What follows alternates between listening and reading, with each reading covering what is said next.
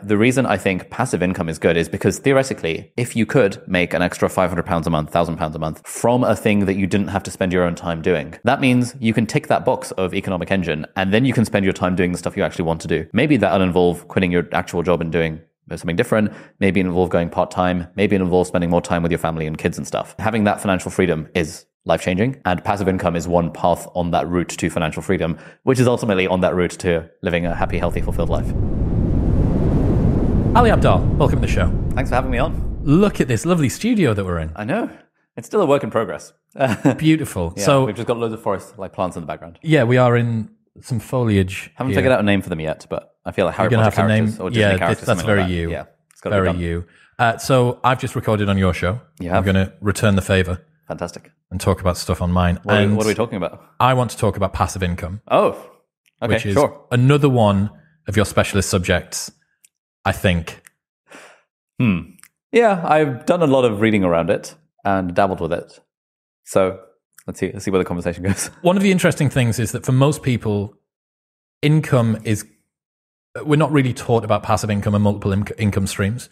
The the absolute peak that most people will get is earn more than you spend, and try and get a put money into a pension or some sort of ISA of some kind. There's not really a very good understanding of how you spread your risk about how you can have multiple income streams. Maybe people who are not self-employed don't think that this is the sort of thing they should be doing. For people who are self-employed, they might not have the time or the understanding to actually be able to work out what they should do. So if you're talking to someone about passive income, what's a, why should someone even be bothered? Why should someone even think about it as an option? Yeah. Um, so the way I, the reason I think of it as being being a good thing is, I think ultimately we're all trying to live a life that's like happy and meaningful and fulfilled and stuff. Like that's that's ultimately where we're all aiming at. With even even with all the stuff with all the stuff you talk about in the show, that's that's our our, our destination. Now the reason a bit a big part of why we might not get to that destination, you know, there are there are various hurdles that can get in the way. For example, if you have a major health problem, and or like yeah yeah for example if you have like a major health problem that kind of gets in the way of you living your best life. And so you want to try and solve that health problem. And if you for example people who have chronic back pain say that it just adds a real downer to their quality of life forever. Like there's, there's not much you can do about that. And i think when it comes to money uh, we all need money to survive.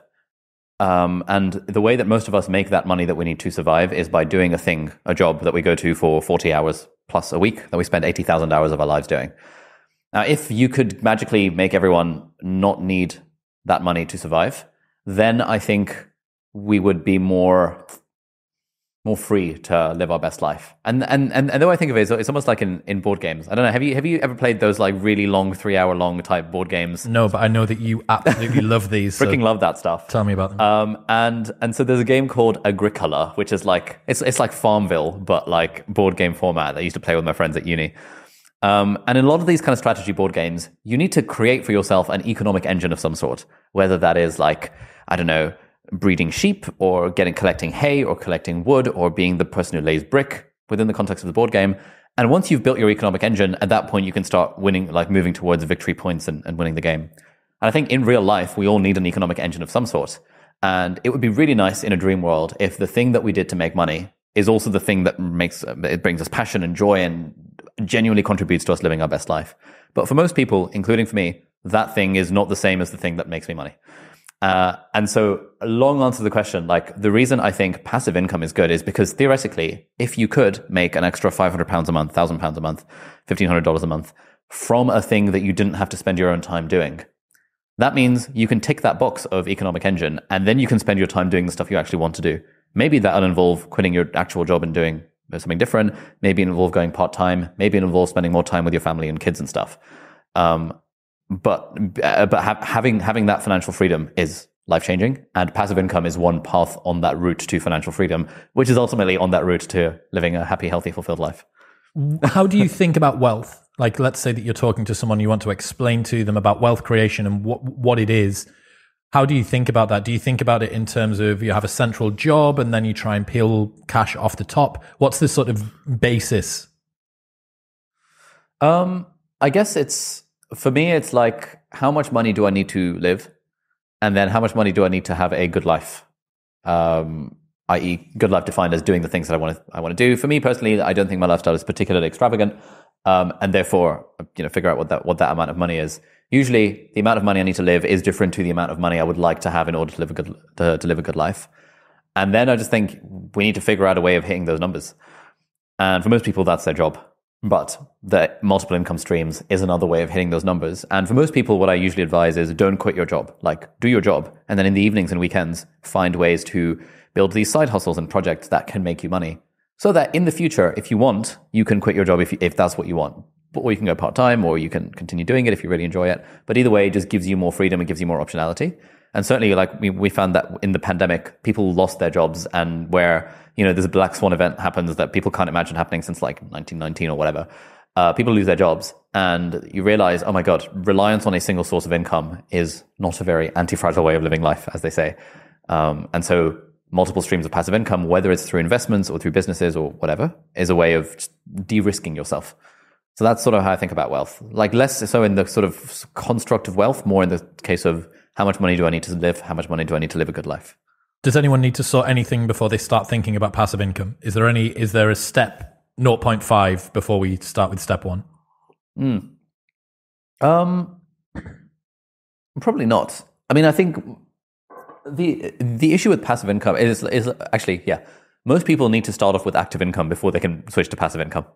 So you need to have some money coming in through something that you're doing. It is very hard to just conjure up a stream of passive income, passive defined as you're not you're not really working for it. I guess we, we can go into in, in into definitions, but I think active income, single stream, start with a single stream of income, and then worry about like diversifying that into multiple streams. Cool. Stocks and shares.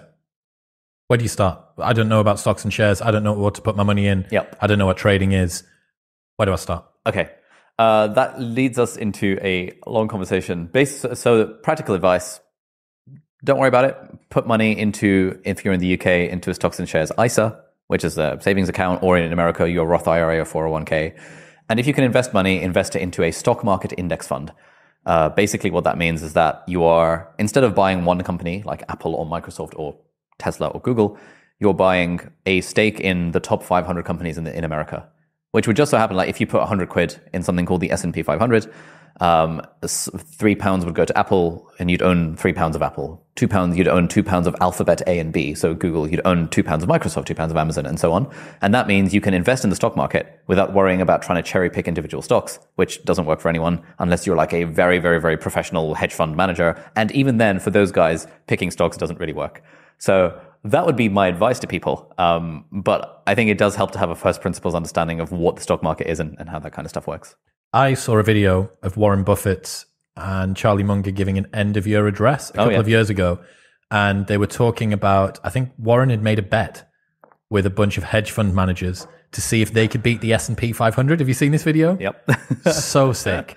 So, well, can you explain what happened and, and why that seems to be the case? Yeah. So the the thing with with funds basically if you're a rich person you want you want to you want your money to grow. You don't want if your money sits in a bank account uh, onto your mattress it deflates over time because of inflation because uh, the government prints more money which gets us into a conversation about crypto and stuff which we'll, we won't go down because i'm not very familiar with that space trying to understand it myself. Uh, basically money sitting on its own reduces its value over time. And therefore if you have money you want it to ideally increase its value over time and one way you can do that, you can do it in real estate, or you can do it by buying and investing in stocks and shares. So you own a percentage of a company if you do what what what I recommend and what, what Warren Warren Buffett and Charlie Munger recommends, I recommend you just invest in an index fund which tracks the whole stock market and you don't have to worry about it. But some people invest in actively managed funds. So that's basically I would give you some money. I'd say, Chris, here is a million pounds. I want you to grow my million pounds. You would say, oh shit, Ali's giving me a million pounds. I need to grow it. But I need to do something other than just invest in the fund, in the index fund, right? Because I need to, I need to try and beat, beat the market. That's what beating the market means. And so you think, you know what? I think Tesla's going to do well. I think Netflix is going to well. I think, I think pets.com is going to do well. And I think, I don't know, Febreze is going to do well. I'm going to put a quarter of a million of Ali's money into those things. And I'm really going to hope that it outperforms what, what it would have done had I put it into just the top 500 companies in the US without thinking about it. And it apparently, according to Warren Buffett, I, I haven't read the research on this firsthand myself, but what Warren Buffett says and what a lot of advice on this industry is that the funds that do well one year, like let's say Chris's fund returns 20%. So my million goes to 1.2 million, whereas the S&P 500, the index market only returned 10%. So if I was average Joe investing in the index fund, I'd make 10%. But if I gave my money to you, Chris, I'd make 20%. Uh, but there's no guarantee that the next year your fund is also making 20%. And there's also no guarantee that in year three, your fund is still doing well. And it turns out that there are very few funds, if any, that can actually just beat the market overall, which is what this bet was that Warren Buffett did with all these hedge fund managers. And he ended up winning it um, and giving the money to By charity. literally doing something that anybody could do, pressing go all in on the S&P 500, which is in itself kind of a hedged type of investment because it's across so many different companies. And you're talking about professional hedge fund managers that were spending time and charging commissions Yep. and doing research and looking at is this overpriced? What's the R number on the the Fibonacci sequence over over trend? All this stuff. Exactly. Just put it in the S and P 500, and the S and P beat all of them. That's the one. Yeah. I think I think there are some funds in the world, like especially the ones that invest in like early stage startups and things, where you probably do beat the market, but normal people don't have access to those. You have to be like ridiculously rich to be able to invest in those sorts of funds that do that kind of thing. Is my understanding. Therefore, most people should just invest in the S and P 500 or a broad stock market index fund. In the UK and in the US, how would you do that? Um, in the UK, uh, basically, wh- whichever country you're in, you need to get a, um, essentially a stockbroker. So b- back in the day, a stockbroker was some dude on Wall Street that you would ring up and say, "Hey, Tom, I want to put twenty dollars on Apple," and he'd be like, "All right, I'm placing that order." These days, stockbrokers are online, so you have these online stock trading platforms. And it varies between different countries. In the UK and the US and a bunch of countries in Europe, Vanguard is the most trusted. It was the original kind of index fund place. So you just open an account with Vanguard and you put some money into it. Like, let's say you start with $10, $100, $1,000, whatever. And then you can allocate that money to one of these funds. And the one that I'm fully invested in is the S&P 500, which is just the 500 biggest companies in the US. I don't think too hard beyond it, uh, about it beyond that. Um, so that's what I'd suggest. Just Google best online stockbroker. Hargreaves. Lansdown is quite popular in the UK. That's is. quite easy to set up. Yep. uh, and you can tie that in. The allowance in the UK is twenty thousand pounds per year that you can put in tax free, and the returns are also not taxed on that. So over time, that twenty will be 21, 22, 23. Um, so yes, you can also set up a standing order slash direct debit, which I think is a nice way to portion off a little bit of mm. money every single month. I know that X hundred pounds goes into that, and it's also that also permits you to do what's called dollar cost averaging, which is to piece into the market over time. So the market's going to do these little wiggles, wiggly wiggles up and down, hopefully trending upward, which means that you're continuing to earn money. But by piecing in consistently over multiple months, you don't end up ever catching too many big or too many low points within the market. And you get out of it on the other side, all right. No, exactly. So like I have a monthly standing order for 500 pounds into the S&P 500 and uh, 2000 pounds into Bitcoin and Ethereum. Have you seen Coinbase has a smart investing thing? oh, no, I haven't. What is that? So Coinbase is a trading account that you can use. It's also a wallet for crypto. And they have a dollar cost averaging service that uses the movement of the price to allocate how many, how much of your funds should go in. Oh. So let's say that you want to put, I want to put a thousand pounds into uh, Bitcoin and Ethereum every month. It will rate down or up how much it puts in of that thousand pounds based on the movement of the coin during that month.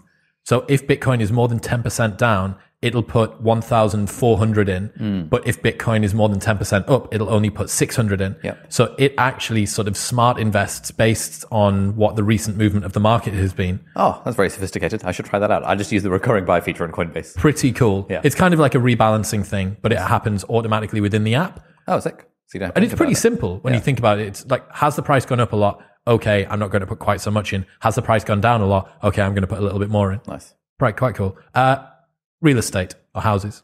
Yes. the thing with real estate is that um, it's it's a pretty good way of making passive income.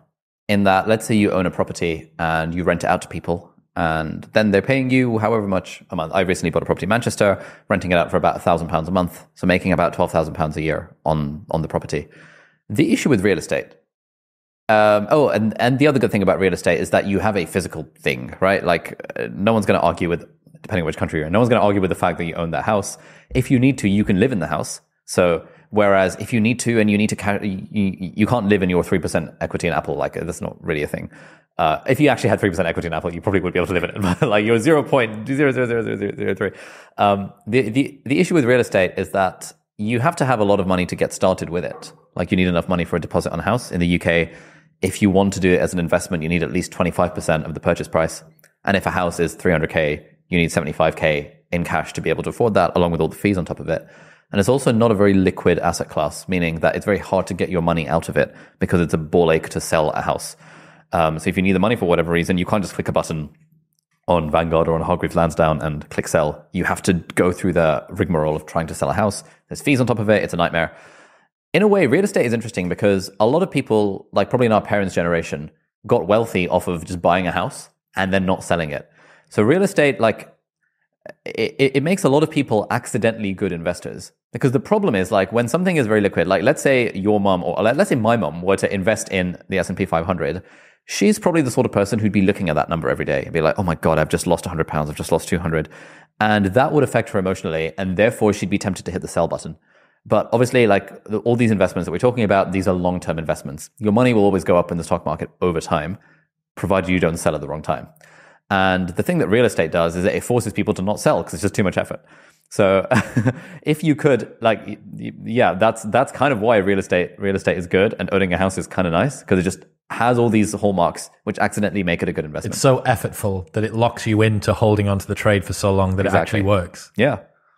That's funny. Yeah, I think that you're right. What we've got at the beginning here is probably one of the easiest to put money into in terms of stocks and shares, some sort of passive cash, uh, stocks and shares ISA in the UK with Hargreaves Lansdown, where you could literally do £30 a month. Yep.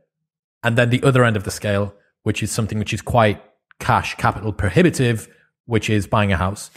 In the UK, 25% down. Mm. I would budget 30% overall, which would include fees stamp duty, yep. solicitors, arrangements, surveys, uh, and maybe a little bit of work, uh, yeah. a little bit more. You want to paint this wall, I want to get some photos done, whatever it might be. To give my experience with this, I've just completed on my fifth house, which is all the same 25% down uh, on a buy to let, an interest only mortgage, which means that I'm not putting any more equity into the house. However, it does mean that I get more cash. It's a, a vehicle for generating cash for me. That's what I'm concerned about. So I don't want to pay any more into the mortgage than I need to. I don't want to put equity into the bricks of the building on top of the 25% that's already there. Yep. What I want to do is just pay off what I need to to the bank in order to keep a hold of the house.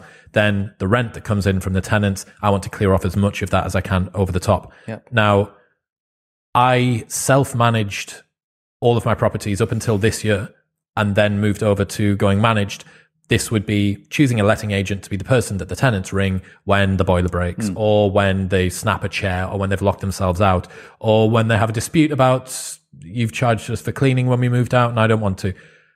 I think overall, if you're considering getting into property and if you're looking to do a buy to let, I think it's a good idea to self manage at least mm. for a year. Okay. Reason being, this is going to be a significant portion of your net worth that's tied up in these houses you are going to have conversations with the people that manage those properties and you want to know what they're talking about. You want to know what the DPS is. You want to understand about the local licenses that occur within where, wherever it is that you are buying. This is also another reason for, I think, purchasing bulks of properties within one place. Find a place that has a relatively good yield and buy everything in that. Yeah, if you want to go and get holiday homes and sort of play around with things for Airbnb, then maybe you could do it that way. But I think that there will be individual licensing quirks. In Newcastle, there's this strange uh, C4, C3 personal license HMO system that the council's got in place. It doesn't exist anywhere else. One of the first cities that's got it in all of the UK. You need to learn that. If I decide to now go to Manchester and the council has a different rating system, I've got to learn it all over again because I need to work out mm. should I be purchasing whatever, whatever. So you can actually uh, reduce the skill acquisition or the knowledge acquisition overheads by choosing to learn one area once and then just digging a bunch of money into that. Uh, if you want to look at places to purchase, I would advise ideally near to where you are. Means that you can go and deal with the letting agents one on one. You can have conversations with them. If there's problems with the tenants, you can go and deal with them.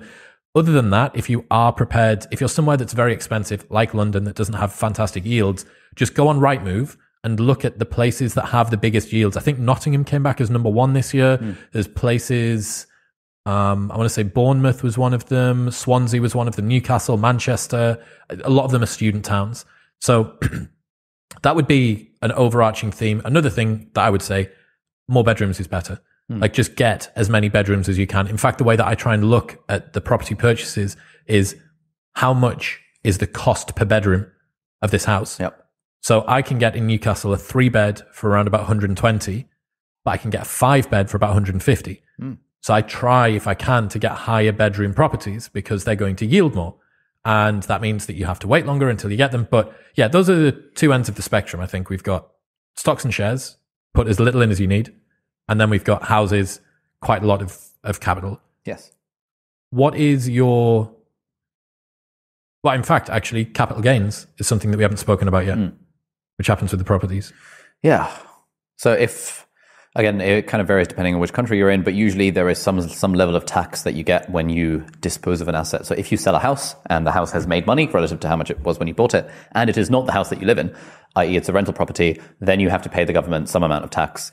I think it's like twenty percent uh, for basic taxpayers, and was it ten percent? I can't remember exactly what the number is. It But changes. that's only of the increase in the property's value, right? Of the increase, yeah, of how much extra money you made on it. And in the UK, you have like a ten thousand pound a year capital gains allowance. Uh, that's why if you're investing in stocks and shares, doing it through an ISA, an individual savings account, I think that's what it stands for, is useful because ISAs are always tax free. And so, for example, if you put in twenty thousand like right now, and thirty years down the line, it had grown to I don't know one hundred twenty thousand pounds. But if it, if it, if it was within the context of an ISA, you wouldn't pay any tax on that 120k. But if it wasn't, you'd end up being taxed on the hundred thousand pounds of gain you'd made on it, and you'd be losing twenty to forty thousand to the government in, in tax. So ISAs are very useful for that reason. That's another thing. It's a hedge. Uh, having a property is a hedge against inflation, right? Uh, yes. Um, yeah, people often say that. So th- the nice thing about properties is that if inflation is very high, it means actually that your mortgage is getting cheaper because you're still paying the same amount of money back to the bank, theoretically, unless you have a, a variable rate mortgage. But let's say you've got a fixed rate mortgage, which is fixed at. In America, they fix them for like 30 years. In the UK, they fix them for like uh, up to, up to five years usually. yeah.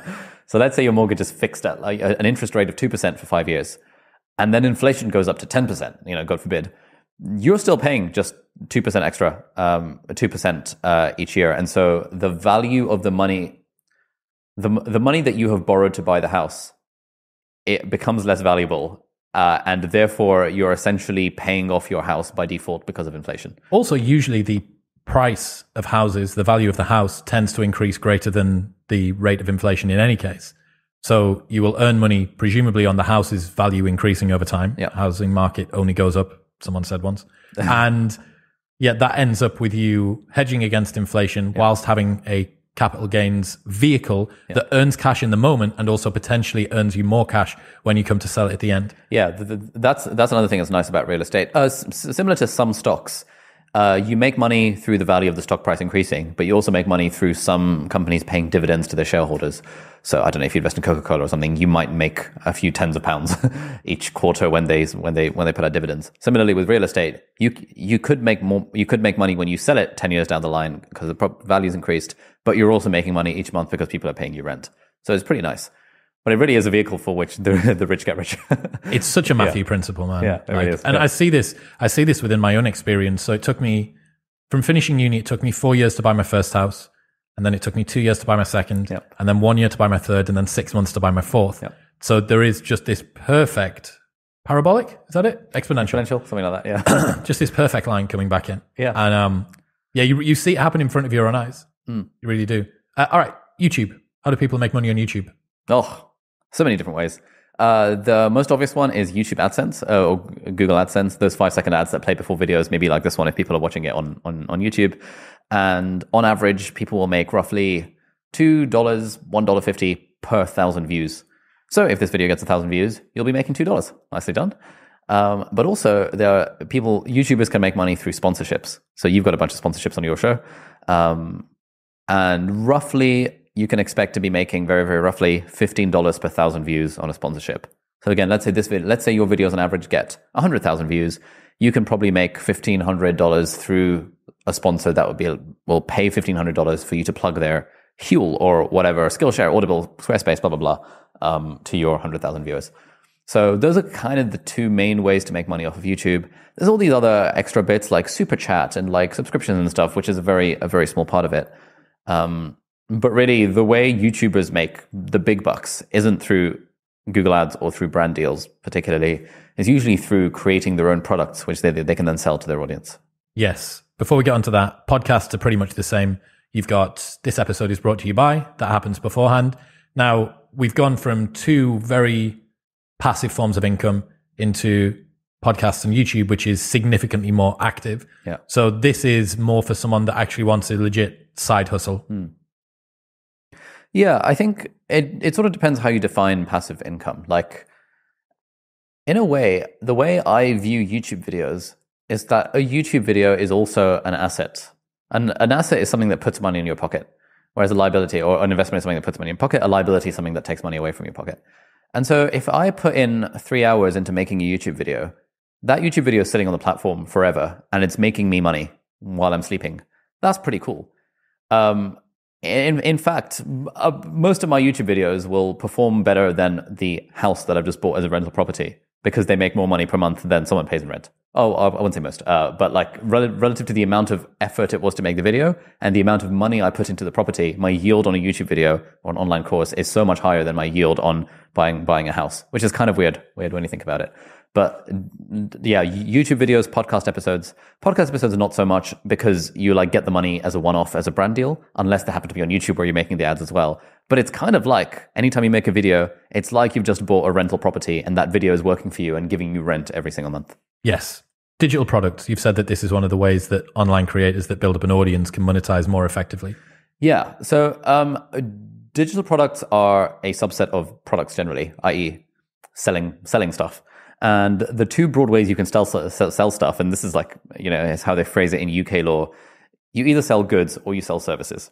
Now, let's say I, I could sell you a service, Chris. I could sell you the service of, I don't know, personal training, you know, because you obviously need to need a personal trainer. I can provide you personal training as a service. You can pay me for my time in giving you in giving you personal training as a service.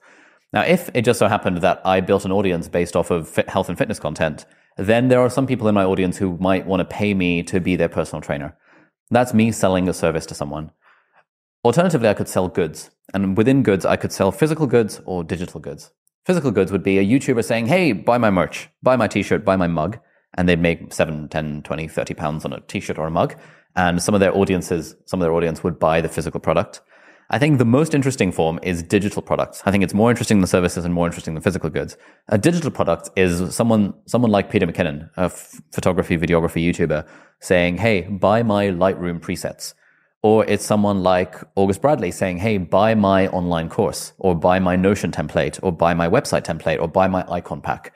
And there are people that have made millions, tens of millions, hundreds of millions off the back of selling digital products and the great thing about digital products is that you generally you make it once and then it costs you no extra money or time to give it out to sell it to five people as it does to sell it to five million people. Whereas if I want to sell five people a shirt, I have to manufacture, produce, and sell, you know, manage five shirts. If I want to sell five million shirts, I need to get a whole warehouse. I need to get a whole. It's it's a real nightmare selling five million shirts, and it eats into your margins. It's a it's a big hassle. it's not at all a nightmare to sell five million copies of a website template. That's like free money, basically the scalability on the internet is a sight to behold.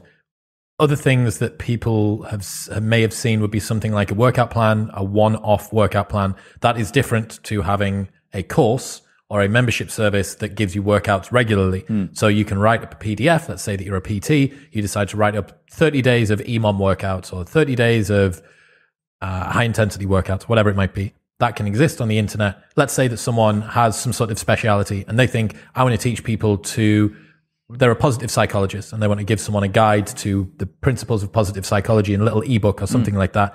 How would you list it and sell it in the most frictionless way? Um, probably a website called Gumroad. That's actually I've got the, the, the guy who invented Gumroad. I've got his book there. Um, Sahil Lavingia. Yeah. He was supposed to be on the podcast this Wednesday, but we've had to rearrange. Oh, nice. I Yeah, I haven't read his book yet. It, it, it literally arrived earlier today as a advanced copy. So we'll, we'll, we'll, we'll see how that is. Uh, but Gumroad is great. You make an account and you can just sell stuff. And they charge like a, I don't know, 2% commission on But they'll host it. Yeah. It'll look nice. It'll be all pre-done. You don't It's need so to learn to out a code. Exactly. You just put a link on your YouTube description. It takes three seconds to list a product from Gumroad. And then you can just literally start making money. It's Yeah. great. Yeah. Online courses. Online courses. Online courses are an interesting class of digital products because if you're a nerd and you're teaching something to your audience, um, generally, okay, so if we take a step back, generally there's like uh, the you can split up content into entertainment content or educational content. And for people like you and me who are doing educational rather than entertainment content, no offense, um, our audience is primed to think of us as teachers. And therefore, if we were to make an online course teaching the same stuff that we teach on our YouTube channels, maybe in a bit more depth, maybe with a bit more structure, then the audience of our YouTube channel is primed to be also interested in, oh, I wonder, I, I, I want to hear Chris teach me about passive income. I want to hear Chris teach me about his morning routine. I want to hear Chris teach me about how to launch a podcast because he's done well with the whole podcast thing. And the nice thing about an online course, again, is that you just record it once. If it's a kind of self-paced online course, you put the videos up online on a website like Podia, which is my favorite, or Teachable, or there's all these different platforms where you pay a small fee, like $29 a month, but they host your product. They handle the payment. They handle the checkout page. They handle the forgot password, user login. You don't need to learn to code or anything. You just literally upload your videos. And then within a minute, you can start selling an online course to your audience. And online courses are how I've made the bulk of my money over the last like 10 years. Passive online courses, but also this new class, which you've capitalized on, which is cohort based online courses. What's the difference there? Yeah, so we've got passive online courses, which is the uh, the the traditional thing you might expect from an online course. You sign up, you pay maybe a few tens or a few hundreds of dollars, and then you've got this library of videos that you can watch through at your own pace. Basically, a passive online course is glorified YouTube videos just in a structure with a paywall behind it. This is really convenient. It's very convenient for the creator because they just have to record them once. It's quite convenient for the viewer because they can watch it at their own pace. Self paced, yeah. Exactly. It's like with Netflix. You can watch a whole season in one go if you really want to. You don't have to wait for the next episodes to come out. The issue with online courses is passive online courses is that they have a famously low completion rate. Like I've signed up to dozens of online courses that I've never even once opened or watched the first two lessons and I'm like, oh, I can't be bothered to do this anymore. That's what most people are like. Like I think 2% optimistically is the completion rate of like a generic passive online course. And so there are people who have been like, okay, online courses benefit from the scale of the internet. But if you're really thinking about offering a transformation to your students, they're unlikely to get it through a passive online course unless they are particularly self motivated. So now there's this whole new vibe of online courses uh, that they call cohort based courses, which is sort of actually mimicking the way that like real life education is done. Like when you sign up to do a degree, you aren't signing up for an online course that you can watch at your own pace. Although depending on what degree you do, that ends up being ends up being the case, and you end up teaching Depends yourself if the there's a pandemic or not, yeah. Exactly, yeah. In fact, to be honest, even pre-pandemic, most of my med school teaching was through YouTube videos. um, but that aside, you know, you're paying a large amount of money. You're, you're getting this experience. You're part of a cohort. You're part of a community of people. You're getting these live lectures. You're getting these workshops, these tutorials, these supervisions, and at the end of it, you get some sort of skill, some sort of qualification, some sort of you become a doctor maybe if you're doing if you're doing medicine. A live cohort online course is trying to do the same thing, just doing it over Zoom rather than in real life. So I run one called the Part Time YouTuber Academy. You're thinking of maybe starting Link below, yeah. Oh, thank you. Where every three months we run a new cohort. It lasts for somewhere between four and six weeks. We change it up depending on how we're feeling. And twice a week, I rock up to a Zoom call. I teach people for two hours for live sessions. And then we have a bunch of interactive things. We have a bunch of like small group teaching sessions. That's a lot of work. It means we can charge more for it. So we charge at the moment between $1,500 and $5,000 per place. It's still way cheaper than a similar course would be in real life, but it's way more expensive than a passive online course would be. But hopefully it's good for students who can afford it because they recognize that it's, it's sort of like you don't need a personal trainer to work out but uh, and and you and you definitely could get hinged by yourself by following an online workout plan or just doing it yourself but for a lot of us who don't have a lot of time on our hands who don't rate our own motivation or accountability very high having a personal trainer is really really helpful. Similarly you could do a course passively online and if you've if you're self-motivated enough to get the value from it then that's fantastic. But i think where live cohorts benefit is in the accountability and the community that you get around it not so much the content which makes people do the thing more. Because often the barrier between you know if you think about say if, if you're listening to this and you've been wanting to start a youtube channel or a podcast the reason you haven't yet is not a lack of information the information is like i, I hold my hands up and say this, it's all freely available on the internet on the internet The reason you haven't is because you haven't got that push, you haven't got the accountability, you haven't got that community. So that's what you're paying for in a live cohort course. So I'd recommend you should start one. It it'll fun. shows, I think, the importance of compliance. Mm. That if you get someone to actually comply to the things that you do, the vast majority of people are going to see results. Yeah. And what you get is this feeling of discomfort when you do a cohort based course, especially if you have tasks that are supposed to be handed in each week. So with yours, Yeah. you have all I want you to do by the end of this course is recorded a YouTube video every single week.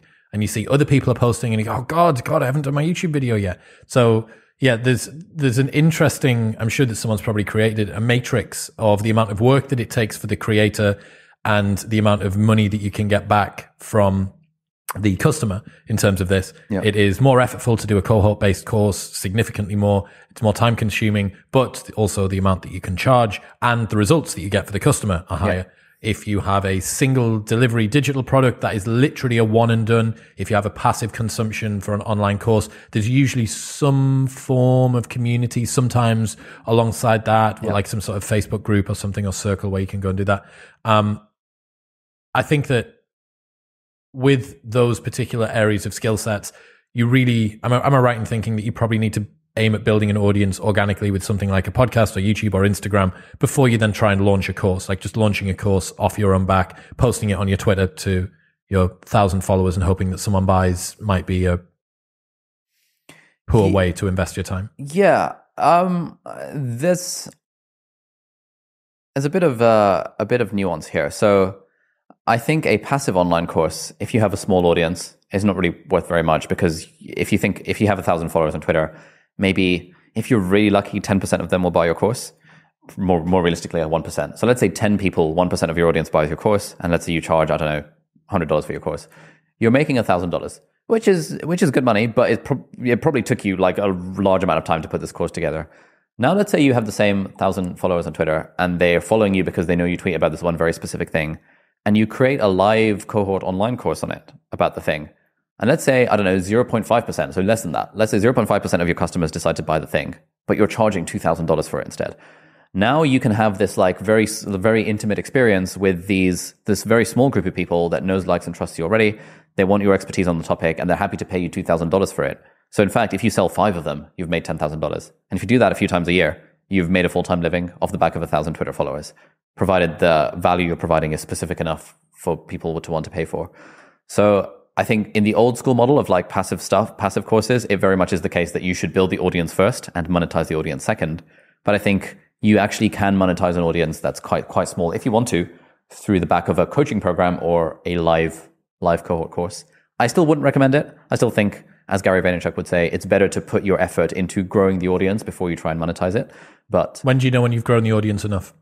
uh, the way I think of it is like, at what point, if I monetize my audience now, would it be an interesting amount of money that would change my life in some capacity? So if I had 100 people in my audience and I was making $10 a month, it's not worth it. If I'm making $100 a month, it's not worth it. If I'm making $1,000 a month, uh, it depends what stage of, you, of of life, life you're at. But when I was younger, $1,000 a month for me would have been sufficiently game changing to warrant doing the monetization. Whereas $100 a month, uh, it's it means I can get an extra few takeaways. It, do, it, it doesn't add anything meaningful to my life. So that's how I kind of think about it. Um, I'm sure there are other other frameworks as well. I was talking to you earlier on about fitness and some of the ways that people monetize in the fitness industry. They really have turned this up to 11. The one thing that they haven't got a hold of yet are cohort based courses. So no one really in the fitness industry, as far as I'm aware, uh, apart from fit pros teaching other fit pros to make digital products, that is one that has because they're so far ahead of the curve. But no one's really got into transformation cohort based courses in the way that I think you quite can yet. They'll bundle people together and say, begin this, and in six weeks' time, we'll all post our progress photos. Yeah. But it's just not quite the same because the consumption of the product that you're doing is inherently in the real world as opposed to in the digital world. Yeah. So going through it together, it's like, oh, today's workout was hard, but you weren't there. I mean, it wasn't like I didn't watch you do yours and you didn't watch me do mine. But certainly PTs that are out there, and there will be a lot of people that are PTs that are listening or work in gyms you have a captive audience. Hmm. They're the people that you train week in, week out. You have maybe 30 clients, 40 clients perhaps that you deal with every single month. They are people that you can monetize off the back of. If you want to write a nutrition guide, if you want to do whatever, you could even offer it to new clients as a bonus for them coming on. You could sell it to old clients that have lapsed. I think that it's just a nice way, especially if you have expertise Hmm. in an area. It's such a nice and easy way to just add a little bit of extra money on. That being said, it is effortful. You're going to have to write it. Um, Gumroad for digital products, Teachable, Podia, Kajabi for online, Online courses, Yep. cohort based courses. Has anyone got that platform right yet? Uh, there's lots of companies trying to build it. There's one called Virtually that we we sort of use. Uh, another one called CoLeap, which is run by some friends of mine. No one's quite got it fully right yet. Uh, people are working on it. We use a combination of Virtually, Google Sheets, Zapier, Zoom. It's a bit of a janky setup that's duct taped. Everyone that I know that does cohort based courses has this super village, like cottage industry Yep. cable tied together. Yep. Just using if this then that frameworks Exactly. and Zapier to hold desperately try and hold the business Yeah. together. Circle, and Vimeo, that kind of stuff. Yeah, disgusting. Uh, affiliate marketing. Affiliate marketing. Uh, the idea here is that instead of selling your own product, you're selling someone else's product and you're getting a percentage commission. So the biggest affiliate program in the world is Amazon Associates. Basically, anyone can sign up to be an affiliate for Amazon. So that, let's say you do a video reviewing, I don't know, the latest Sony camera, and you put an Amazon affiliate link in the video description. If someone buys the product through your affiliate link, you make maybe somewhere between a 1% and 3% commission, which if they're paying $3,000 for a camera is actually not bad. That's, you know, 30 to $90, I think, if my maths is right. If they're paying $4.99 for a Kindle ebook, you have to sell a lot of them to make any decent money off of that. So that's how affiliate programs work. Amazon gives you very low commissions, like broadly broadly speaking. But if you can partner up with uh, individual brands, uh, I work with a company called Paperlike, a keyboard company called IQ Unix. Uh, at that point, you can negotiate things like 10%, 20%, 30%, sometimes even 50% affiliate commissions off of the things that you sell. And it doesn't have to be just digital products or physical products. It can also be online courses. So I'm an affiliate for like my friend Pat Flynn's and Tiago Forte and David Perell's online courses. We've got a bunch of affiliates for our course. It's generally like a win-win way of selling someone else's product that you believe in that your audience will then be more likely to buy because you've recommended it and you get a percentage of you, you get a commission on it. It's, it's like it's like being a salesman but in on the internet. Yeah, well, I mean, everyone believes in something. There are all things that we rate. Hmm. I rate my mate's barber's shop because that's where I go and I know that he'll look after your hair. I rate that club night. Man, Yeah. you're going out on a Thursday, you should go to this particular place. Yeah. All that we're talking about here is formalizing that agreement and getting a bit of a kickback. I think affiliate marketing in some circles kind of gets a bit of a bad name because it creates a perverse incentive for someone to oversell you on what kind of sounds like a personal recommendation. Yep. But that being said, uh, well, I mean, that identifies why it's such a low amount of commission that Amazon sells you or offers you because you could sell anything. The fact is that everybody needs something and they're probably going to get it on Amazon. And if you're the intermediary, what have you done? Yeah. Like, what were you there for? It was either the Oral B Diamond White or the Philips Sonicare. Yeah. And you just happened to direct them one way or the other. You haven't actually brought any trade here. Um, it's funny that you talk about if you're managed to sell someone on a expensive product versus on a bunch of Kindles. I have got affiliate links in all of the ebooks that I've released. So the life hacks list and in the uh, reading list as well, both of which have got all tracked Amazon links, which I just thought would be interesting and it's passive yeah. income. So why not? And I looked, it took a long time to write the uh, 100 books reading list. And the entire amount of all of that income has topped up to about 12 pounds, Nice. I think, because it's, you're talking about three pounds Kindles. Some Yeah. of them are free. Yeah. Some people have got Audible subscriptions, so they're just using it on their Audible, which means that I don't get anything. Yeah. And then one guy, because you can actually track um, what product brought people to Amazon Mm. on your Amazon affiliates backend, what brought people to Amazon, and then what did they what did they buy downstream from that? Yeah. And this one guy bought a PS5. Oh, so some yes. dude went on to buy the Almanac of Naval Ravikant and Yeah. then bought a PS5. I was like, yes, like ten pounds fifty, and that was that was like the big earner for the for the year. Solid. Yeah, so funny, man. But um, yeah, are there any other affiliate marketing, easy access affiliate marketing uh, platforms or Hmm. sections that you think people should take advantage of? Yeah, I think if you if you have an audience and you have a product or an online thing that, that you like, uh, the first thing I would do is Google have they got an affiliate program. So like the other day, I was thinking, I started watching some masterclasses, Malcolm Gladwell's writing masterclass. I was like, oh, I wonder if masterclass have an affiliate program. So I typed in masterclass affiliate program, and then I found that they've got some. Uh, it, it seemed like it was active some of the time and not active some of the time.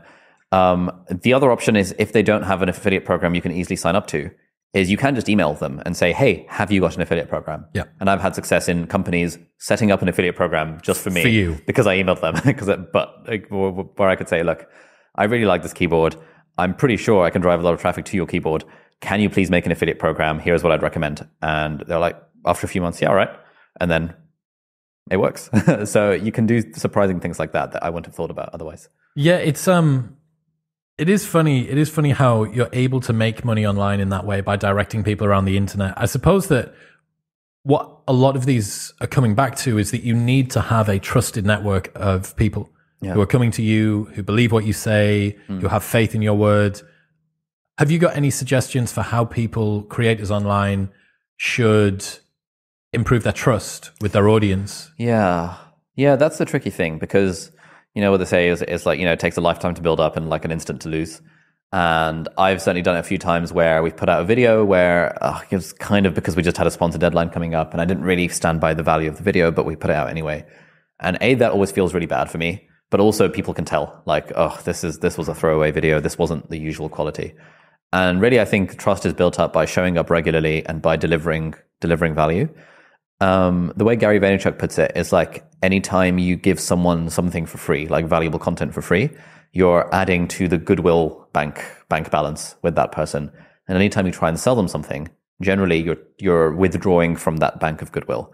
And so he advocates a strategy of he, he calls it jab jab jab right hook, where a jab is giving someone really valuable content for free, and a right hook is asking them to buy something from you. And he famously says that if he, like, he's, he's written a book called Jab, Jab, Jab, Right Hook, but he says that if he could, he would have named it Jab, Jab, Jab, Jab, Jab, Jab, Jab, Jab, Jab, Jab, like 20 times before the right hook, because that is the ratio of how much you should be helping people out with free, valuable content compared to asking them for the sale. Um, but he wasn't allowed to name it that because the publishers didn't. You let end him. up with latent leverage, which is what Jack Butcher calls it. The fact that you have all of this goodwill that's built up and built up and built up, and then you finally ask people for something.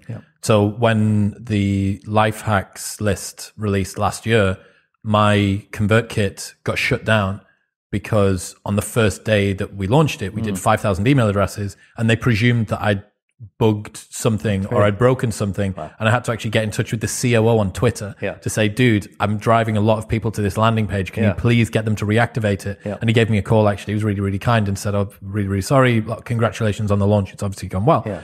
Um, but that, what that taught me was that I'd left it too long before I'd started capturing email addresses from Okay. my audience. Yeah. Because if I had so much latent leverage sat there, three years, nearly 200 episodes of a podcast or Yeah. more, um, and I'd only just started asking them for, e- even that was free. Even that was me still adding value. I just wanted Yeah. an email address in return. That kind of made me think, okay, um, I, I probably could have done this a little bit sooner. And that's an interesting thing to consider that you can wait too long to do this too. And yeah, jumping, uh, finding the right balance. I think when you've built up sufficient goodwill, a good place to start must be to build an email list because that is a halfway house. Exactly. Yeah. So the way a lot of online marketing funnels work, it's like you have people coming in through your website or through your YouTube channel or Instagram or TikTok or whatever, and you want to get them onto an email list because you don't really own that audience in inverted commas. You don't really own that audience when it's on someone else's platform. YouTube owns the audience or TikTok owns the audience, but you do really own that audience when you have an email list. Like when you have someone's email address, you're, they're giving you permission to show up in their inbox, assuming you don't get spam filtered by Gmail or, or whatever. Um, and so really the first step and once, you know, almost from day one, it's sensible to start building an email list. And it's a very easy thing to do. You've got your email newsletter, which is fantastic. And it's just, you, you know, you're, you're, you're delivering value week after week, um, where people have signed up to hear from you. And therefore, maybe once a year when you launch a product, you can email that list being like, Hey guys, I'm launching this thing. Do you want to buy it? Here's a link. And those people are primed to buy from you because they, you've been showing up in their inbox, building up your trust with them week after week for, for a long period of time. Yeah, yeah, that's a good one.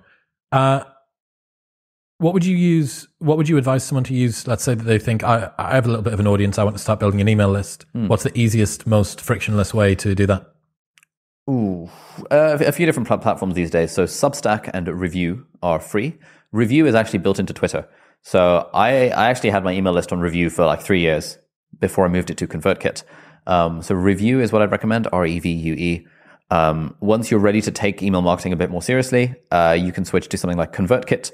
Uh, which is very good, but it is quite expensive. Uh, so after your first thousand subscribers, which are free, so I'd, st- I'd start with Revue or Substack. Yeah, uh, the thing I like about Revue is it's got on your Twitter account, especially if you're big on Twitter, it's got a subscribe right there at the top of your Twitter profile. Yep. Um, what I would say, I hope Revue aren't watching this. Uh, what I've done is I've just set up my Revue Yep. at the top, and I just pull the emails across every day into ConvertKit or every one, once once a week. So Yeah, you can take advantage of the frictionless sign up Yes. on Twitter, but then pull them across into your main ConvertKit. Yeah, that's what we do. We we we, we use a Zap for that as well. Oh, you're gonna have to send me that. Yeah, so you can automate it. yeah, anytime someone signs up to Revue, you can you can just make a Zap in three seconds that sends adds them as a ConvertKit subscriber. That's sick. Okay, I didn't know about that. Uh, membership, membership sites. membership sites. So the idea here is that um, you get some of your audience, you charge them a monthly membership fee, and bring them into some sort of premium offering. Patreon is one example of a membership site. Uh, where the vibe of Patreon is, hey, support my work for five dollars a month, and in return you'll get early access to my videos, or you'll get to a live Q and A with me every month. Um, Gary Vaynerchuk often says that if someone is your super fan, the thing they'll pay for is more access to you. So more of your content, more of your behind the scenes, that kind of stuff. Um, that's one way of doing a membership thing. And the nice thing about memberships is that people will pay you monthly, so you've got recurring income. The annoying thing about memberships is that you do then have to be showing up every single month to provide value. Otherwise, it's a bit unfair. And so actually, I tried to do a membership thing with my YouTuber Academy. We called it the Inner Circle, which was afterwards for alumni, charging fifty to hundred dollars a month. Uh, and we had like weekly events going on, and we had we, we we had a lot of activities. But even with weekly events and sometimes twice weekly events, I still felt we weren't providing enough value uh, compared to the ridiculous amount of value we provide in the course. And so we ended up canceling it after six months and just refunding everyone any money they'd ever paid, which was like $150,000 worth of refunds that we did. But it was for the sake of that trust because I was like, no, there's no way. It, it, it wasn't fair for us to like I wouldn't I, I I didn't feel good about charging people for that value that we were offering. So Patreon is one way to do a membership. You can build your own membership site using something like Ghost, which is what I use for my personal website, which is very good. Um, there's a few other options like paid newsletters on Substack. Um, you can get people in through YouTube paid subscriptions, which is built into YouTube, uh, where you can get them into a Discord community. There's all sorts of different ways of doing membership content, but the idea is that some of your fa- some of your audience will be happy to pay a certain amount of money each month. But if you if you're if you want to be kind of integrity about it, you want to give them decent amounts of value every month. Yeah, so it you can't you can't just put people into a group and hope for the best. So locals, which is the platform that I've just started using, one of the reasons that I really like that over Patreon, and I've vacillated for ages and ages, thinking, do I want to use Patreon? Do I want to go with locals? Now I ended up choosing locals mostly because it permits inter community bonding. So community members can post in there. They can have discussions between themselves. Every day that an episode goes up, there's a thread talking about it. Yeah. Whereas Patreon, because it's established and there's, there's an expected uh, modus operandi on there, it's here is a new piece of content for you. Enjoy. Here is a new piece of content for you. Watch. Here is a whatever, a, like a little update or something. It doesn't feel as organic and natural. Yeah. So locals for me felt like a really, really good platform choice. There's another platform that's owned by Patreon, Owned by Patreon. and it's I think it's called Memberful oh yes, that Like paywalls WordPress yeah paywalls word WordPress sites. So let's say that you've got a WordPress site that you want to have some work behind a paywall on it, and they can integrate that. I think there's a way that they can actually integrate those member lists with some other some other fancy things through Zapier or Yeah. through IFTTT, and um, yeah, that would be interesting. why d- why didn't you go for Patreon plus Discord? Uh, I wanted everything to be in one Okay. site. Uh, I also think that Discord itself as a platform is a very particular portion of the internet Yep. that understands what Discord is, knows how to use it. And although most people would be adaptable, I felt like locals was just such a frictionless, it's built for conversions. It's built for creators. Yep. You click on the link. There is a big button that says join, Yep. email, password, easy, yeah. sign up, click the confirmation and you're in. A nice photo of you as well. yeah, oh, it's beautiful, Beau- beau- beautiful photo. The Popeye Popeye arms. Someone accused me of looking like who was that guy from Fast and Furious that died? Oh, I can't remember his name. Paul, someone. Walker. Yeah, a cross between Paul Walker and Popeye, which I took as a that's a compliment. I took as a compliment, Yeah. but it might not have been. Uh, automating a business. What's that mean? Automating a business. Um, a good reading on this is Tim Ferriss's Four Hour Work Week, which uh, kind of, I guess, put this this idea on the map. But basically, if you have a business, let's say, I don't know, you're, let's say you're selling a physical product. let's say I'm selling a T-shirt. That that actually is more like a traditional business than an online business. Like even if I take orders online, I still have to fulfill the orders. I have to figure out a way of like, you know, getting the customer size, getting the payment from the customer, um, printing the T-shirt they want printed, or getting it shipped from my warehouse to their address, tracking the fact that it's shipped to their address, making sure they're happy with it, making some having someone monitor the support inbox because if they email me for whatever reason, I need to be able to reply to them. Having someone deal with refunds if for, for whatever reason their t-shirt didn't arrive. There's a lot of stuff associated with that. Now, if you run a if you're trying to do this all yourself, it ends up taking a large amount of time, and you realize, hang on. I, if I want to scale this business, I don't have enough hours in the day to be able to manually package up and ship out all my orders. And therefore, you can start adding ways you can delegate and automate aspects of your business. So bits that you can delegate is you could theoretically hire someone to manage your support inbox, or you could hire someone to ship the orders from the warehouse.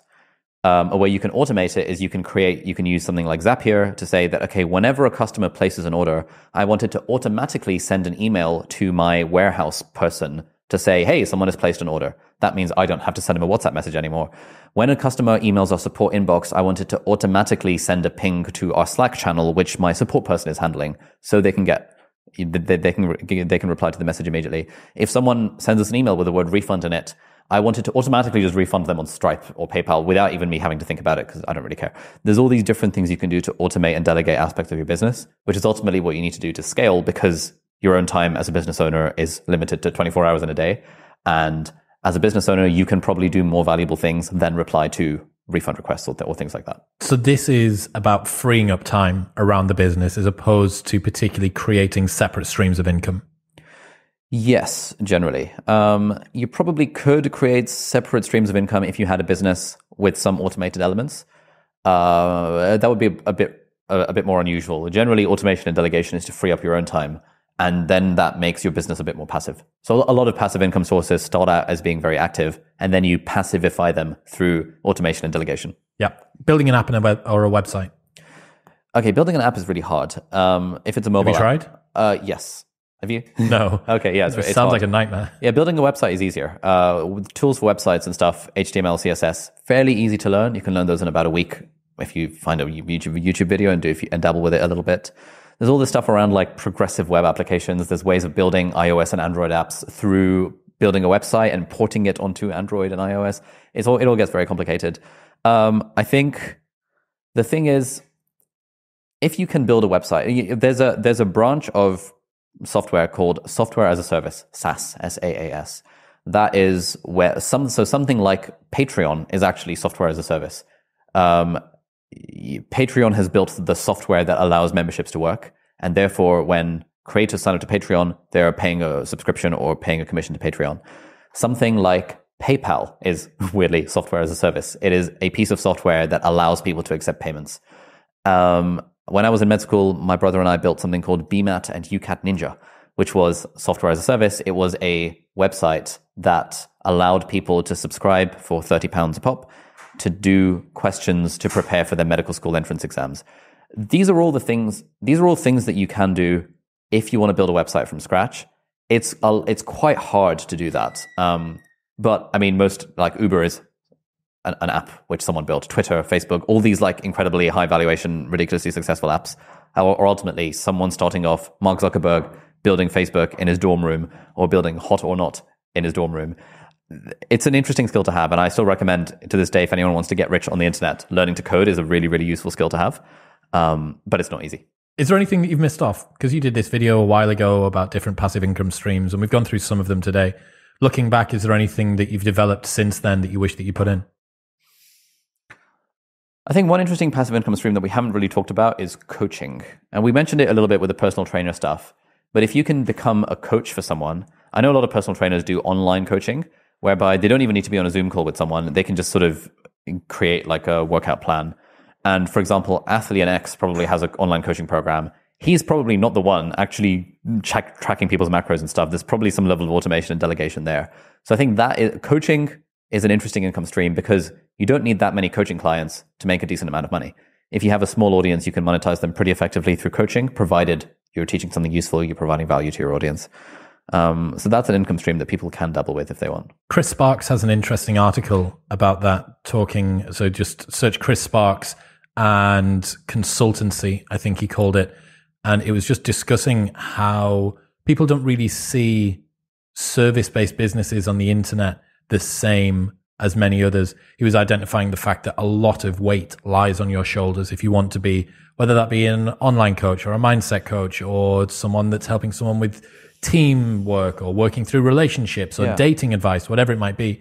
It is great, but the scalability of that is inherently downturned because you, for the most part, Yep. are the person, you're the product Exactly. Yeah. one half an hour of your time equals one half an hour of your customer's time, Yep. which means that if you only want to work eight hours a day, you can only have 16 customers a day, as opposed to the scalability that you get from products and online No, courses. exactly. Yeah, coaching is a very it's it's not passive unless you find a way to automate and delegate it, which kind of takes away from the charm of it being you as their personal coach. Yeah. Yeah. So to recap, we've got differing amounts of input in terms of both time and capital that we need to use. Yep. looking to try and have a spread of a a variety of income streams as possible is good because it hedges you against different markets either moving up or moving down. Yeah. It also means that you can monetize more effectively across different streams and building an audience, going audience first, adding value first, thin end of the wedge, Yeah. over delivering on the freemium side. That is something that's going to help. Anything else? What else has been missed off from the from the recipe for success? Um, I find like when, when, when I'm thinking about passive income, uh, I kind of often think of the three C's, which is I think something that Naval talks about: uh, capital, code, and content. And you can make money through capital by investing in stocks, investing in real estate. You can make money through code by building an app, building a website. And you can make money through content by creating a YouTube channel, podcast, Twitter, Instagram, TikTok, writing a blog, writing a book, all that kind of stuff. And then the, then you've got the actual traditional businesses like selling a thing or selling a service and then applying the delegation and automation processes to that. But capital, code, and content have an unfair advantage in that they benefit from the scale from uh, pre-existing passiveness, i.e., capital, and the internet, i.e., code and content. Whereas a traditional business, you have to do a bit more extra work to make that into a passive income source by delegating and automating. And even then, traditional businesses are so much lower margin. Like, you know, if you're selling a physical product, it's just going to be lower margin than if you're selling a piece of code or a piece of content. So that's sort of how I think about it in my head. I think might be useful for people to, to, to have that uh, framework. I like it. Ali Abdaal, ladies and gentlemen, if people want to keep up to date with what you do, give us shill your online wares. What Show are my online wares. Yeah, just check out my YouTube channel. Search Ali Abdaal on YouTube. It'll probably be linked in the video description. It's all good. Sick. Thanks, man. Thanks for having me on. What's happening, people? Thank you very much for tuning in. If you enjoyed that episode, then press here for a selection of the best clips from the podcast over the last few weeks. And don't forget to subscribe. Peace.